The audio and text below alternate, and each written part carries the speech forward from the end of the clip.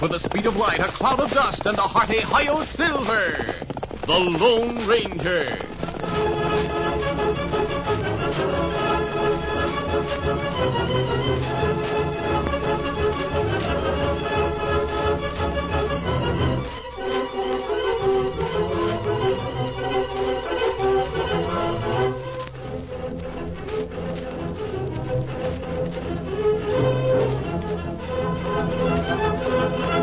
With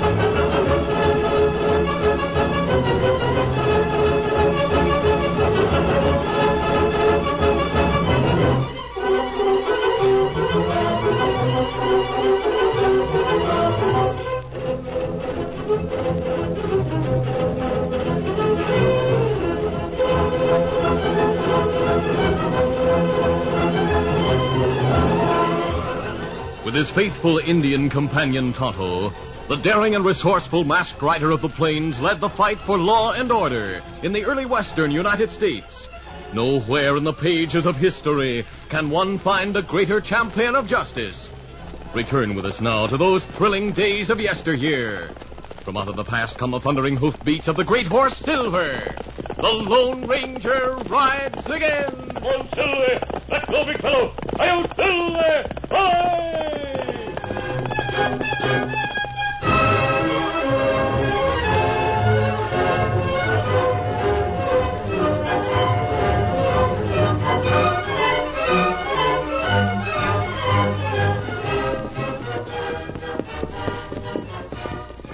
The Lone Ranger and Tonto rode the trail near Silverton.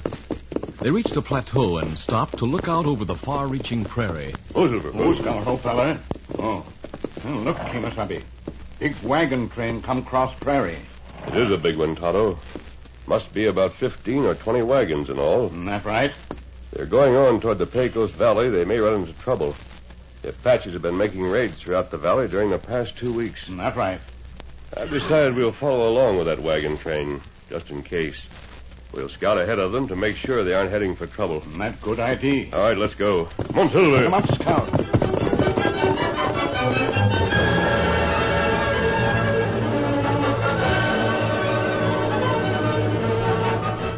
All that day, the snake-like wagon train, with its billowing canvases and straining horses, moved slowly across the prairie. At dusk, the wagons were drawn into a big circle, and things were made ready for the night. After supper, the pioneers gathered around a big campfire to relax a bit after the tedious day that had passed. Jed Rector, master of the train, strode into the glow of the fire and, standing on a box, raised his hands to quiet the group. Uh, quiet down, everybody. I got something to say to you. We came a mighty long way. Our journey's almost ended. We're not out of danger by a long shot. So far, we've been mighty lucky. Now, uh, our trail scout tells me we got about three days' journey before we reach the Pecos River. Now, wait a minute, wait a minute. I know three days don't seem much of anything after all the time we've taken to get this far. But I want to warn you. A lot can happen in those three days. So don't be getting too confident that all our troubles are behind us. I've been noticing that some of you are getting a bit lax about standing guard at night and things like that. Now listen, Jed. Seems to me you keep the folks worried when there isn't any cause. Me and my partner joined this train, and we've taken your orders. Up to now.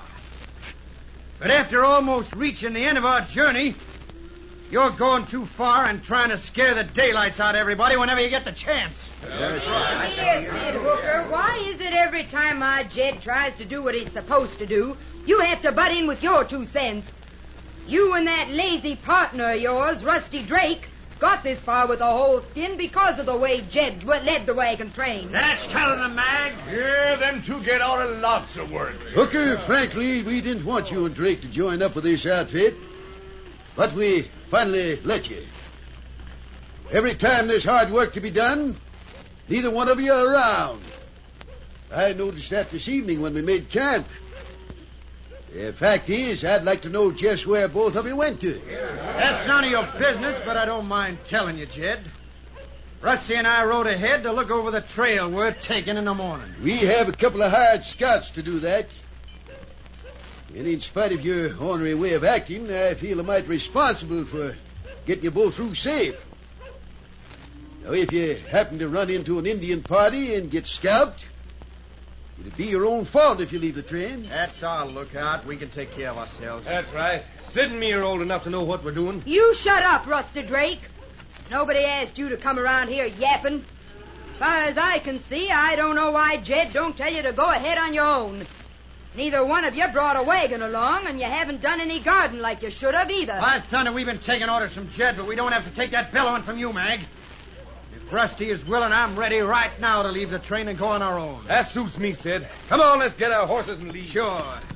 Let the others listen to Jed and Mag do their plowing, but we don't have to. Right. Let's go. Well, I say good riddance, Jed. Those two are troublemakers, and we're better off without 'em. Yes, maybe you're right, man. All right, folks. Forget the little happening and get back to enjoying yourselves. But uh, be sure you don't let down your guard till we reach where we're heading. Eh?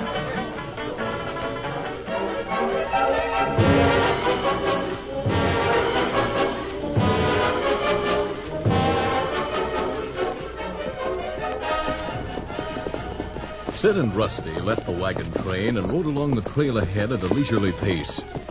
The moon was shining brightly, and they talked as they rode. Well, we finally got a good excuse for breaking loose from that wagon train. Yeah. I was beginning to wonder how we were going to do it without causing suspicion. A lot of cash in that train. Practically all of them brought along all their savings. Right. I know Jed and Meg have plenty. Sold out a big store in St. Louis before they left. You think Muggs Delroy got that letter you sent him in Pecos? There's no reason why he shouldn't have. After he lit out from St. Louis because of the law, he wrote me from Pecos. Said if we came out that way, we might pull some jobs together. Ah. What did you tell him in your letter? I told him we were planning to come out with Jed's wagon train. There was lots of cash in it. That we'd leave the train on some excuse and make time to Pecos to meet him. Then we could plan something against the train and carry it through before it reached the Pecos River. Ah. In that case, let's make better time than this. Let's get moving. Oh, get it up! Come on!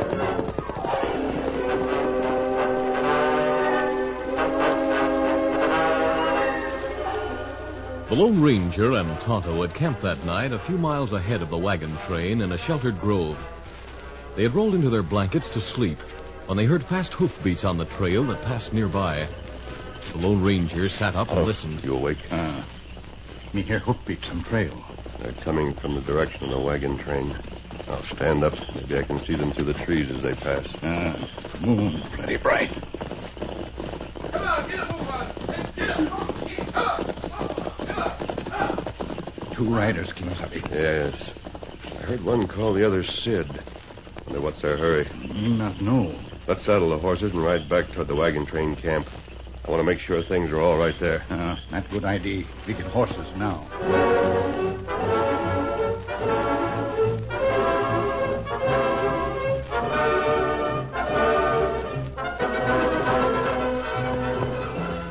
The Lone Ranger and Tonto reached the trail and started back toward the wagon train, Tonto pointed and spoke. Trail, two galloping horses. Easy to see, Kemosabe.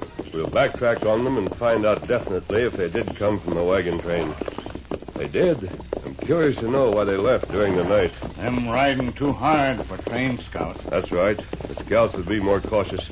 All right, let's hurry. Come on, Fiddler. Come on, scout.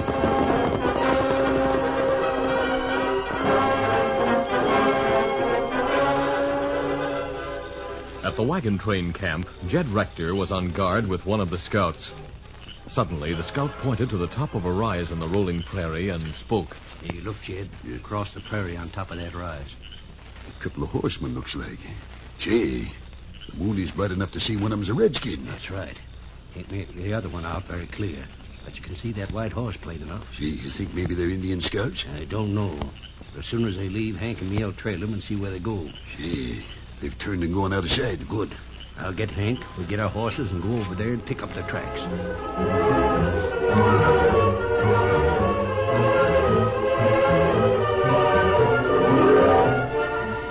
After the Lone Ranger and Tonto left the rise and started back to their camp, the two wagon train scouts picked up their trail and followed. We better keep close watch, Hank, so we don't ride into an ambush. Yeah, I'm watching. So far, I haven't seen any sign that says a lot of Indians are around. Neither have I. But I don't like the idea of them two spying on us. That's right. I'd say they were up to something. Hey, wait a minute. Their trail turns off here. Let's stop. Oh, oh, oh, hold it. The tracks head for that grove back over there. Yeah. Let's sneak over there on foot. Stay there. Come on. Have your gun handy. We'll find out what they're up to.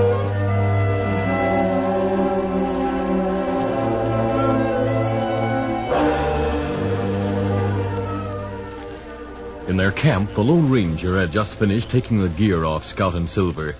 As they prepared to spread their sleeping blankets on the ground, the great horse Silver whinnied and pawed the dirt. "keep Kemosabe, Silver, give warning. Yes. We'll walk over to those low boulders, Tonto. Then get down quickly. Come on.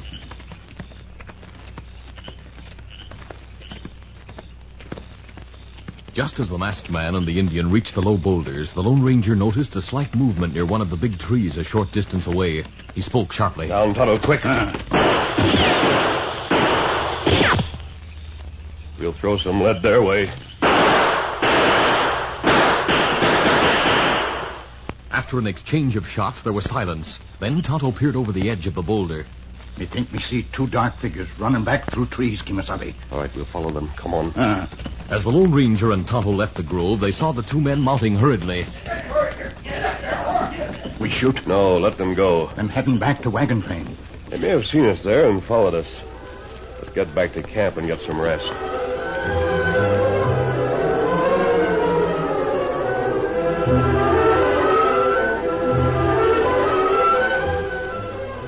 Hank and the other wagon scout returned to the wagon train camp, they told Jed about what they had seen. Yes, sir, Jed. It was light enough to see that one was an Indian and the other was an outhoot wearing a mask. That's right.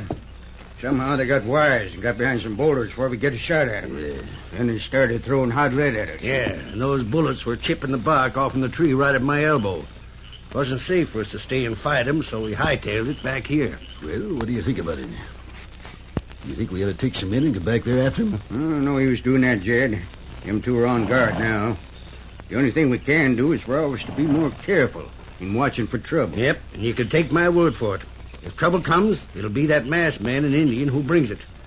The first town we come to, we'll get the sheriff and have him get a posse and search for them two until he finds them.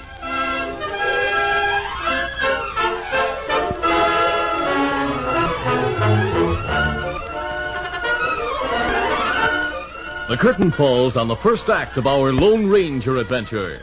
Before the next exciting scenes, please permit us to pause for just a few moments.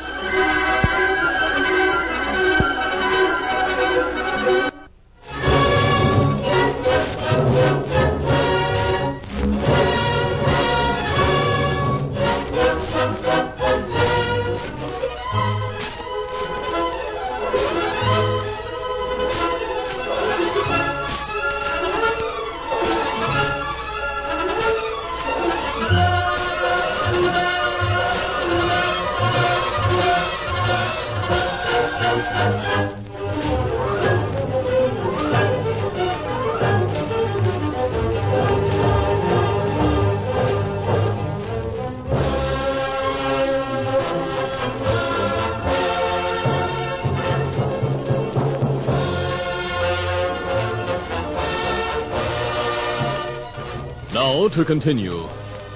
The following morning, the big wagon train continued on its way westward. Meantime, in Pecos, after riding hard all night, Sid and Rusty found their friend Muggs Delroy, and the three of them sat talking in the cafe. ah, we're sure glad to see you, Muggs. Almost ran our horses ragged to get here. In your letter, you said you were coming out with a big wagon train. Where are the others? The wagon train is quite a way back yet. And the plane's the other side of the Pecos. Yeah, we found out there's a lot of cash in that train, Muggs. Me and Sid didn't get along with the others too well. We finally made an excuse to get away from it. I get it. You got some idea about taking that cash, eh? That's right.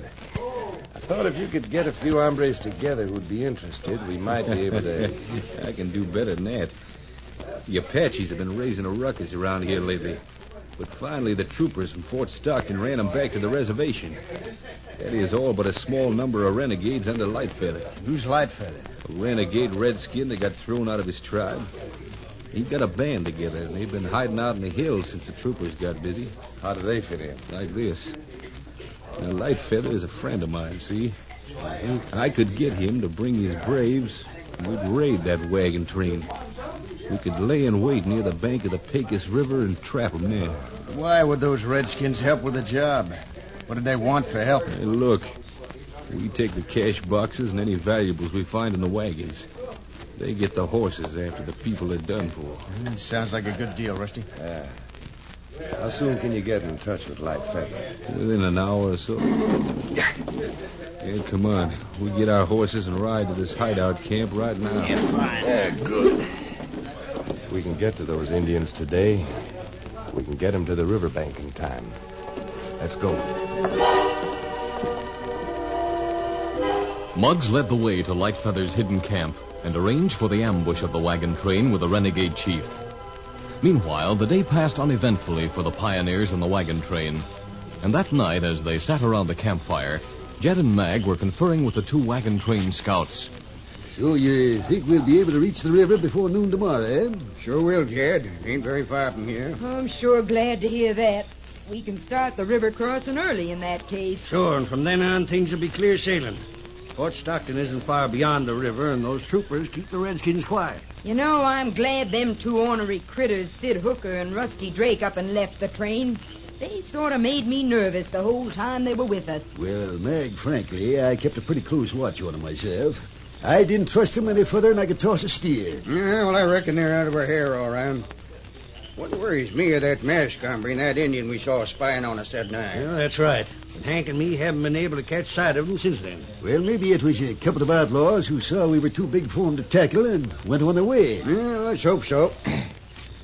well, I'm turning in for a spell. I'll wake you up when it's your turn to stand watch, Hank. I reckon those who aren't going to stand watch better turn in now so as to be fit for that river crossing tomorrow.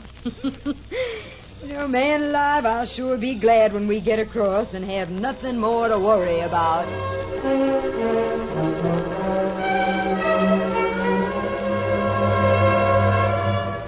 The Lone Ranger and Tonto had kept careful watch but hadn't seen anything out of the way. They made sure that no one would surprise them a second time by being extra careful in the selection of a campsite. At dawn the following morning, the Lone Ranger spoke as they prepared to break camp. Tonto, the wagon train should reach the river a little before noon. That's right. Once across, they'll be safe from attack. Ah. Indians afraid of troopers from fort. We'll ride to the river and wait there in hiding to watch the wagons cross. They may run into difficulties. Ah. All right, let's get started. Easy, steady, big fella. Easy, fella. Come on, Silver. Come on, Scout.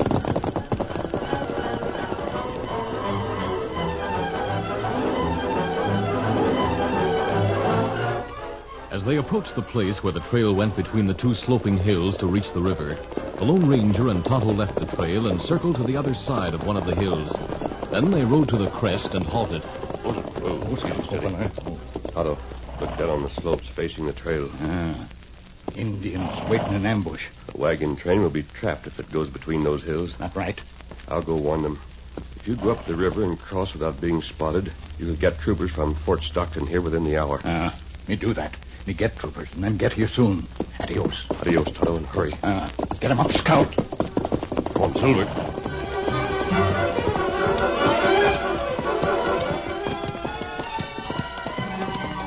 Lone Ranger made his way cautiously down the opposite side of the hill. Then, when he was sure he couldn't be seen, headed along the trail toward the wagon train. Now let's go. Come on, Silver.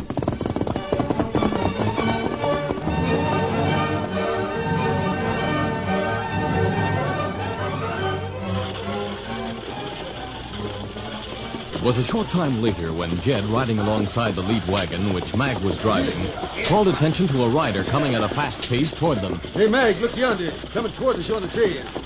It's great day. I can't make out much for the dust, but he's sure coming lickety split. Yes, sir. What, what?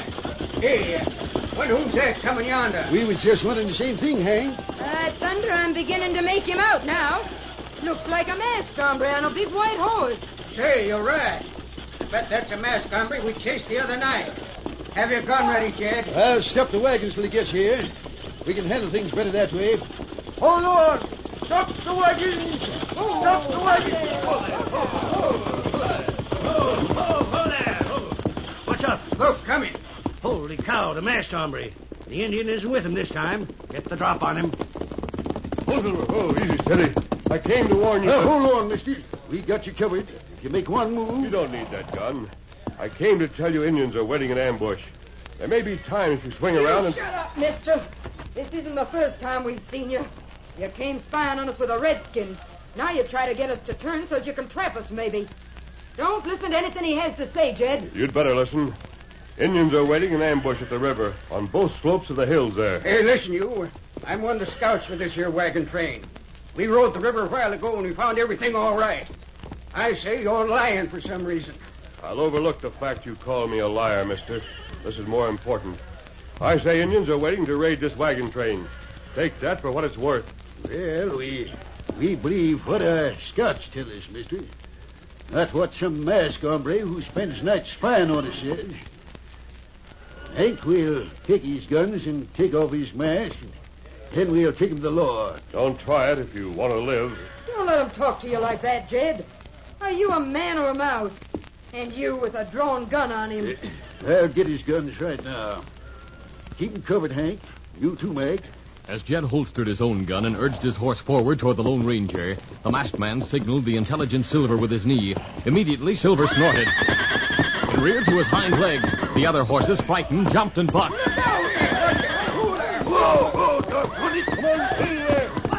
The great Silver whirled and sprang away down the trail at such a fast gallop that when the others regained their balance, the masked man and the great white stallion were out of gunshot. Holy mackerel, did you see that? See what? By thunder, he moved so fast, him and that stallion, nobody could see anything. Great day, that was the fastest moving hombre and horse I ever did see. I'd sure like to know what he was up to. Well, whatever it was, he didn't get away with it. As long as you say the way is clear, we're moving toward the river. All right, get moving, everybody. Get those wagons moving. Get up. Get there! Get on! Up!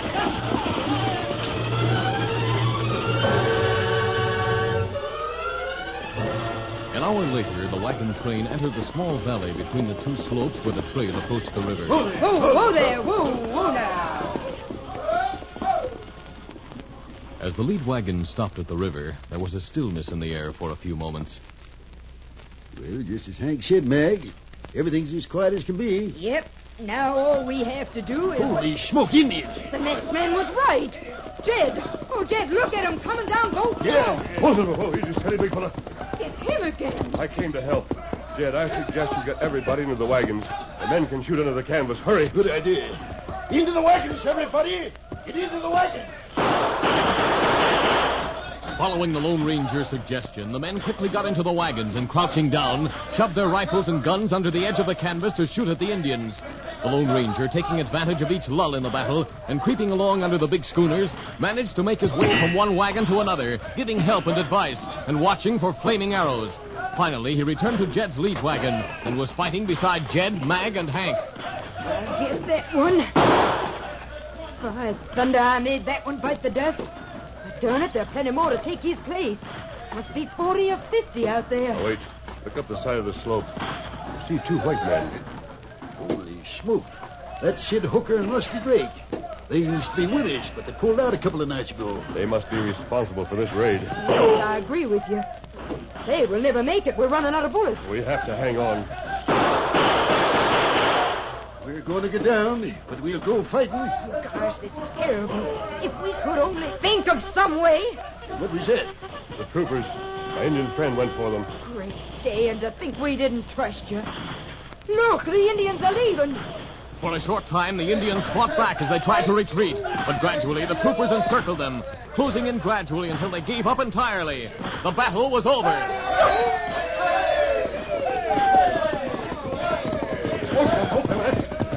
Tonto, got here just in time. Uh, troopers catch white men with Indians. Take white men to fort. Take Indians to reservation. Well, the train will be safe from now on. By golly, I reckon we owe our lives to you, mister. The only way the West will survive and grow is by each one helping the other, Hank. We'll be nearby if you need help crossing. From now on, you won't have Indian trouble. Easy, steady, big fella. Come on, fiddle there. Well, now, look at that. There they go riding away like nothing had ever happened, instead of staying here so people could thank 'em for what they did. Hey, Jed, Mac, where's that masked man? He's gone. Yep, gone without waiting for thanks either. Well, by thunder, it finally came to me. I should have remembered before, what but I... came to you, you nitwit? Why, what do you think? That the masked man is an hombre I should have known. He's the Lone Ranger.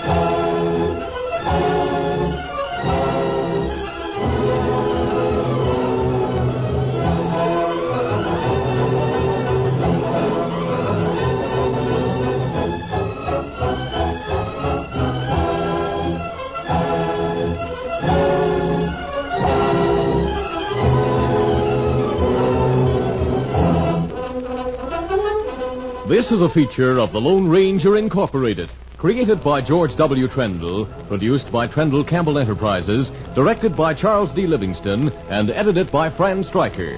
The part of the Lone Ranger is played by Brace Beemer.